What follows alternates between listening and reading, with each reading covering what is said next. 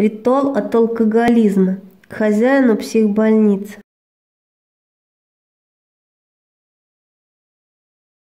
Отправляйтесь или к реальной психбольнице, или на кладбище. В дар возьмите или водку, или пестрые цветы, или хорошая коробка шоколадных конфет. Делать ритуал лишь с согласия человека или для его родственников. Но они могут только просить, чтобы их перестали мучить. Без согласия ритуал запрещен. Букет, водку или коробку конфет оставить у больницы или положить на заброшенную неухоженную могилу. Чем хуже, тем эффект сильнее сказать.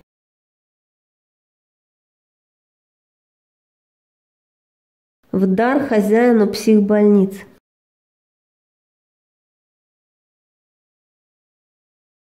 И продолжить.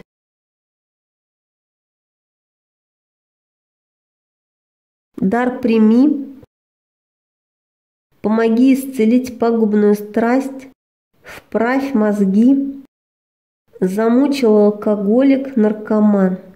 Прошу заклято.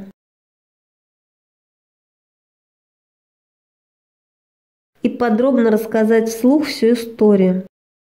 Если после ритуала человек стал хуже, не вздумайте ему больше помогать. Он конченый. От родственников сам вскоре уйдет, перестанет мучить. Если одумался, подкрепить еще ритуал два раза. Интервал через один месяц. По этому ритуалу станет видно, можно ему помочь или нет сразу.